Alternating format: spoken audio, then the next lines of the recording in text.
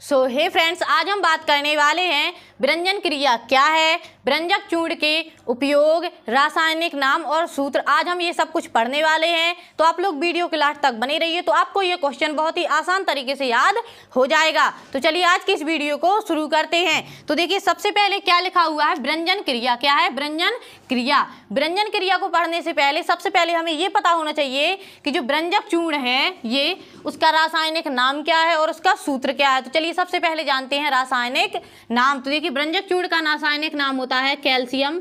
क्या होता है? कैल्शियम ऑक्सी क्या होता है? कैल्शियम ऑक्सी क्लोराइड ठीक है? ये होता है इसका रासायनिक नाम।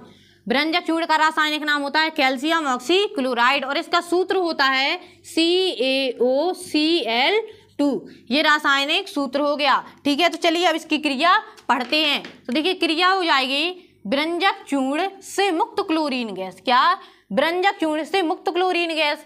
भाई, ब्रंजक चूर्ण उससे क्लोरीन गैस मुक्त कैसे होती है? सबसे पहले हमें ये पता होना चाहिए। तो चलिए क्रिया के माध्यम से समझते हैं। ठीक है? तो सबसे पहले हमने क्या लिखा? ब्रंजक चूर्ण। ठीक है? तो लिखते हैं, क्या है? सी ए ओ सी एल टू ये क्या है? ब्रंजक चूर्ण। और हमें क्लोरीन गैस चाहिए ना तो हम इसकी क्रिया किससे कराएँगे? अम्ल से करवा देंगे। किससे? अम्ल से। तो लिखते हैं H two S O four ये क्या है? सल्फ्यूरिक अम्ल है। क्या है? सल्फ्यूरिक अम्ल। ठीक है?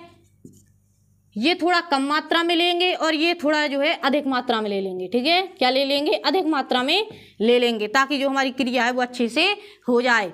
तो हमने जब ब्रंजक चूर्ण की क्रिया सल्फ्यूरिक अम्ल से कराई तो देखिए क्या प्राप्त हुआ हमें? C A S O four plus H two O calcium sulphate प्राप्त हुआ और जल प्राप्त हुआ। साथ ही साथ हमें क्लोरीन गैस क्या हो गई? मिल गई। जो हमें चाहिए था क्लोरीन गैस, वो हमें मिल गई। चाहिए थी ना क्लोरीन गैस, वो मिल गई है। अब जो क्लोरीन गैस है, वो क्या करती है? पानी से संयोग करके। क्या करती है? पानी से संयोग करके नवजात ऑक्सीजन बनाती है। क्या बनाती है? नवजात ऑक्सीजन निकालती है। तो जो क्लोरीन गैस है, उसकी क्रिया किससे करा देंगे? जल से कराते हैं। तो चलिए लिखते हैं। C L two chlorine plus जल एच टू ओ ठीक है? तो जब हमने क्लोरीन गैस की क्रिया किससे कराई? जल से कराई तो हमें क्या प्राप्त हुआ? टू एस सी एल और साथ ही साथ हमें क्या प्राप्त हो गई? नवजात ऑक्सीजन क्या प्राप्त हो गई? नवजात ऑक्सीजन ठीक है? ये क्या है? नवजात ऑक्सीजन अब आगे क्या लिखा हुआ है? यह नवजात ऑक्सीजन नवजात ऑक्सीजन रंगीन पदार्थों को क्या कर देती है? रंगीन पदार्थों को रंगहीन पदार्थों में बदल देती है। किसमें बदल देती है? जो रंगीन पदार्थ होते हैं, उनको रंगहीन कर देती है। देखिए किस प्रकार से करते हैं। तो सबसे पहले क्या लिखेंगे? नवजात ऑक्सीजन। तो चलिए लिखते हैं। सबसे पहले लिखेंगे रंगीन पदार्थ। क्या लिखेंगे? रंगीन पदार्थ। ठीक है, ये ले लिया। अब लिखेंगे क्या? नवजात ऑक्सीजन। ठीक है, ये लिख लिया अपन ने। अब जब रंगीन पदार्थ नवजात ऑक्सीजन से क्या करेंगे? क्रिया करेंगे तो क्या हो जाएगा? रंगहीन हो जाएगा। क्या हो जाएगा? रंगहीन हो जाएगा। ये देखिए अपना पूरा क्वेश्चन हो गया। अब इसे एक बार हम और पढ़ लेते हैं ताकि हमें अच्छे से याद हो जाए। क्या लिखा हुआ है? ब्रंजक चूर्ण से मुक्त क्लोरीन गैस क्या है? ब्रंजक चूर्ण से मुक्त क्लोरीन गैस पानी से संयोग करके। किससे? पानी से संयोग करके नवजात ऑक्सीजन निकालती है। क्या निकालती है? नवजात ऑक्सीजन निकाल देती है। और यह नवजात ऑक्सीजन रंगीन पदार्थों को, जो रंगीन पदार्थ होते हैं, कलर वाले, उनको क्या करती है? रंगहीन कर देती है, बिना कलर का कर देता है, ठीक है? रंगीन पदार्थ, रंगहीन पदार्थों में बदल देती है, अपना आंसर हो चुका है। आप लोग इसका स्क्रीनशॉट ले लीजिए। अब बढ़ते हैं, क्या उपयोग, क्या पढ़ेंगे आप? उपयोग, ठीक है?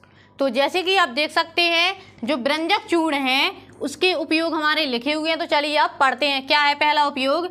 वस्त्र उद्योग में सूती एवं लिलेन के ब्रंजक के रूप में, किसके? वस्त्र उद्योग में सूती एवं लिलेन के व्यंजन के लिए, ठीक है? और दूसरा हो जाएगा कागज़ उद्योग में काष्ठ लुगदी के व्यंजन में क्या हो जाएगा?